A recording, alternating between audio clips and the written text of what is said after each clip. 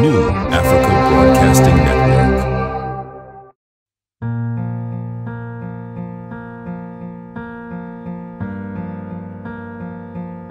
Happy is the man who finds a true friend, and far happier is he who finds that true friend in his wife. The very day young Humphrey Nwosu set his eyes on Stella at a Christmas event held in the Ajali Town Hall, Anambra State in December 24, 1966, he knew immediately that was the woman God had sent to him to marry. Humphrey and Stella instantly became friends. Given the strong impression they made on each other, Humphrey Nwosu, a public relations officer with Shell at Port Harcourt City, and Stella Eni, a schoolteacher, continued to stay in touch and dated throughout 1967. When you realize you want to spend the rest of your life with somebody, you want the rest of your life to start as soon as possible. The two loverbirds, Humphrey and Stella, got engaged in 1968 and wedded on May 31, 1969 while the Nigerian Civil War was going on. Humphrey and Stella believed that no obstacle could stop their love for each other, not even the threat of air raids by Nigerian military. The young couple moved to Nsukka, where Humphrey became an academic staff of the University of Nigeria, Nsukka. They gave birth to their first child, Ogechukwu, now Oge Irono. That same year, they moved to California, where Humphrey enrolled in a doctorate program at the University of California, Berkeley. Stella also enrolled and studied at Merritt College in Oakland, California. As students, Humphrey and Stella had a son, Mr. Nnaemeka Nwosu. At the conclusion of Humphrey's PhD program in 1976, the couple moved back to Nigeria, where Humphrey resumed his profession as a lecturer at the University of Nsukka. Armed with a Bachelor of Arts degree, BA, in 1977, and a Master's degree in Education, MED, in 1982, Stella completed her doctoral work in education at the University of Nigeria, Nsukka, during that time. The couple got additional gift from God. A blessing to the family, Noye, the third child, was born. Because of their love for children, God decided to add another gift to the family, Chiamaka, another child was born to this wonderful couple, Humphrey and Stella. The couple also adopted and raised Humphrey, their niece and nephew. What a big happy family.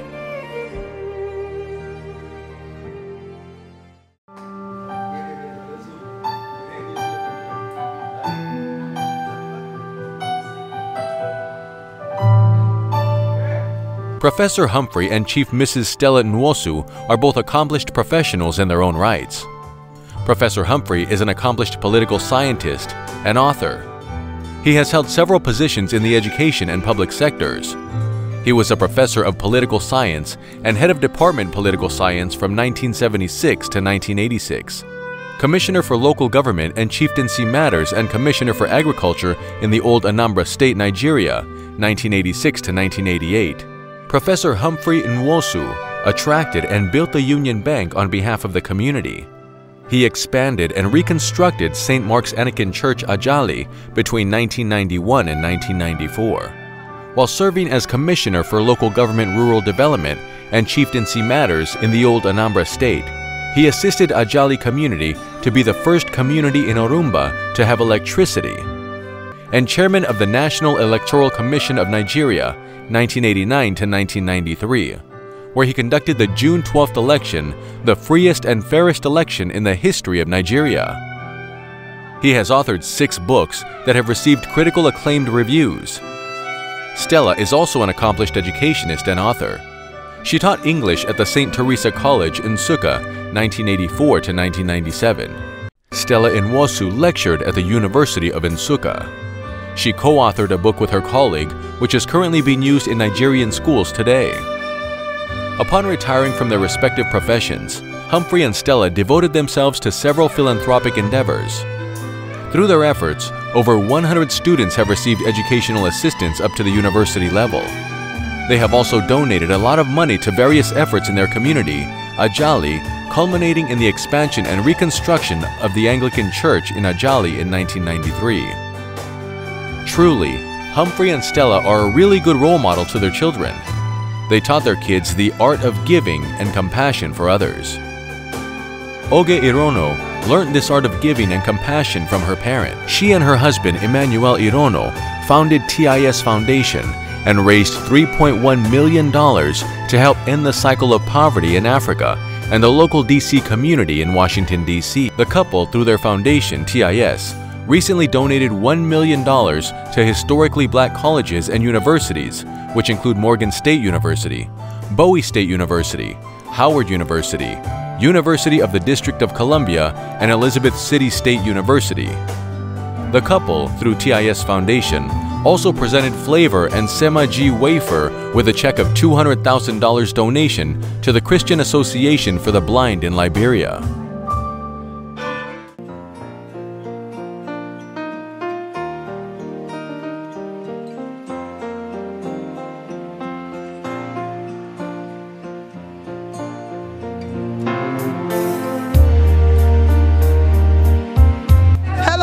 Everyone. Welcome to NABN TV special event. My name is Joy Adedeji. We're at the 50th anniversary celebration for Professor Nwosu and his wife. Such a wonderful couple. I'm going to interview them today. We want to know the secret of this longevity in their marriage and maybe some of us can emulate them. How are you, sir? Thank you. Yes. Uh, for a union to be durable, it must be God oriented. You must trust in Almighty God who created life. He owns life. But the two individuals who are two imperfect human beings that come together to form one body must make strenuous efforts to understand each other to be able to understand each other, you must listen to one another. You know, it's not question of one talking, talking, the other one not listening. Both are equal partners. If they listen to each other, they will begin to grow in understanding. Because you understand year by year, month by month, you discover your imperfections and de-emphasize them. Weaknesses, because no human being is perfect. If there is anyone, tell me anywhere, there is none.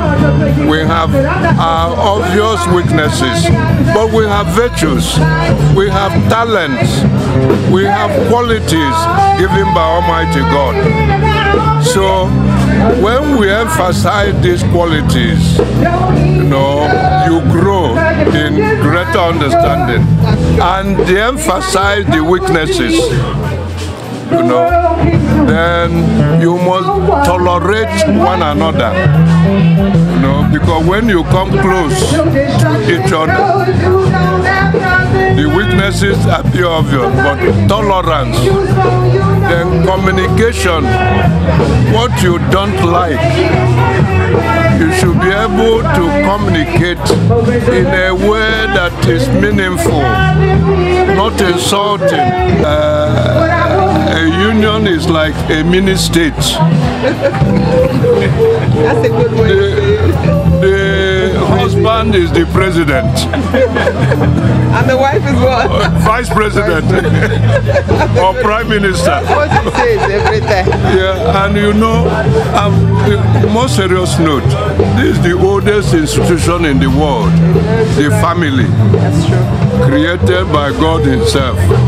So if you have a state, a state developed if it has goals, articulated goals to achieve. If it has legitimated rules that guide behavior within the union. So there are some norms of behavior that will guide action for both parties. And when children start to come, they play a role in the union, specific role. There is no union that will escape the challenges of life. It can come in various ways. uh, those who may appreciate children, children may not come early. That may be source of conflict. Or it may come too quickly. I, don't know what life will be without that. I know. What are your thoughts, ma'am? For like young women of today, what, what would be your advice? These days, there's so much divorce out there. Women need to be more supportive. Yeah, he has uh, laid out most of the points, really. Um, first, you have to believe that we have a creator, you know, somebody who created us and brought us into this world. If you have respect for God and pray always with your husband, you have to pray in the morning, in the evening, gather the children around you, pray with them. But the most important point you didn't add is the ability for one to own up for one's mistakes. The ability for one to be able to say, I am sorry. It's just three words, I am sorry. And it heals every, it will take away every problem. The man should be ready to say, I am sorry when he runs the wife. And the wife should be able to say, I am sorry when uh, she runs the husband. If you have that in a marriage, if that marriage will work. You know what uh, what uh, causes trouble is when someone feels, oh, I'm the president, as he said, without giving deference to the vice president. The president has his own functions and the uh, vice has her own functions. So you have to recognize uh, the role of the vice president and she will recognize the role of the president.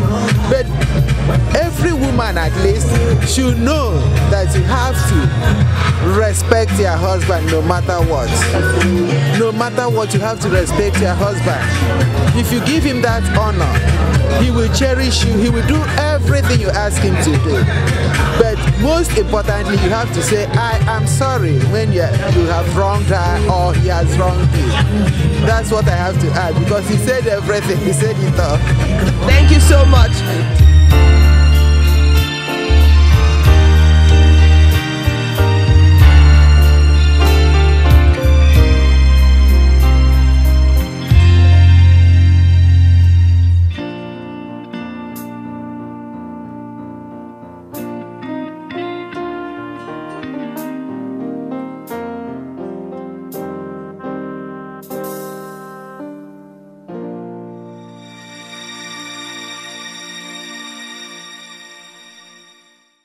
June 8, 2019. The couple, Professor Humphrey and Chief Mrs. Nwosu, and their family, friends, and well wishers gathered at the couple's home in Maryland, United States, to give thanks to God as the couple celebrate 50 years' fruitful wedding anniversary.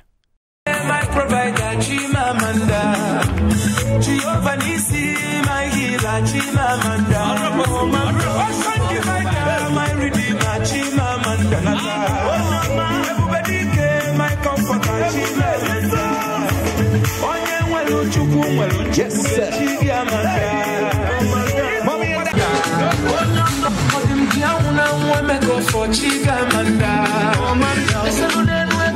Kristi for Chigamanda. I had some son in law paving the for his mother. Yes,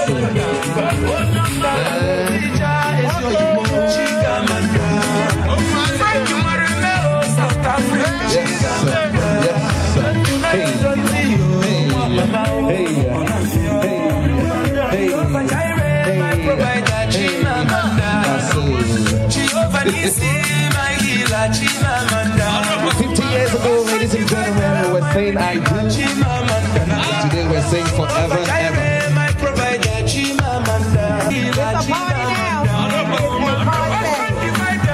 Beautiful daughter of the mother.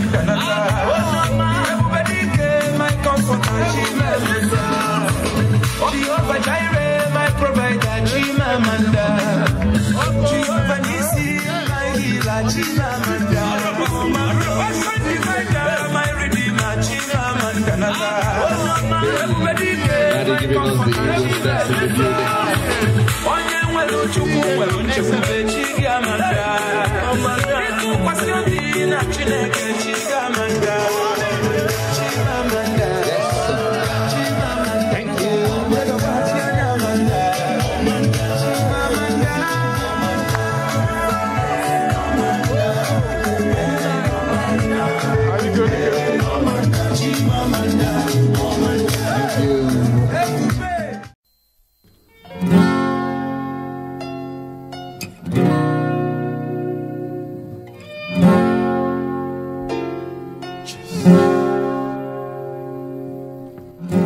50th wedding anniversary of Humphrey and Stella is the celebration of love, trust, partnership, tolerance, and tenacity.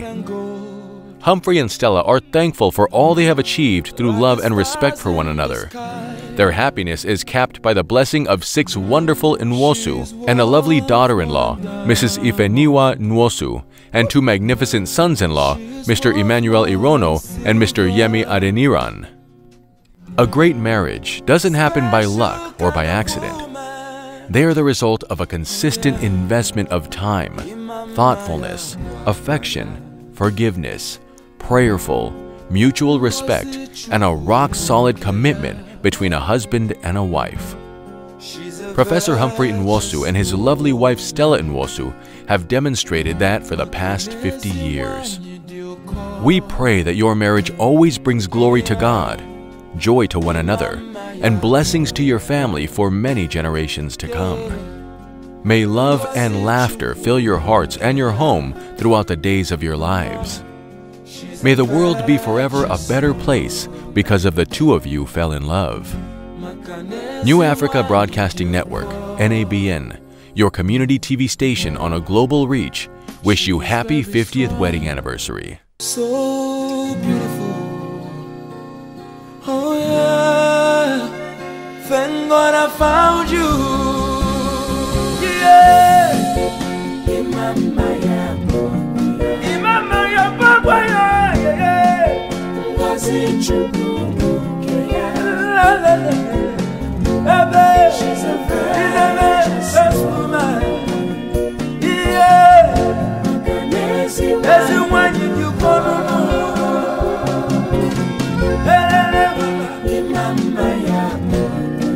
Ezi agwa ka eji ama nwa nwanyị.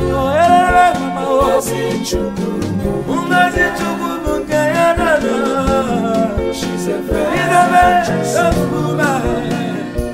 Oh Lord. Ezi nwanyị dị ụkọ n'ụlọ. On behalf of our executive producers, Moses Adedeji and Joy Adedeji, thank you for watching. My name is Brian Kamei. Yeah.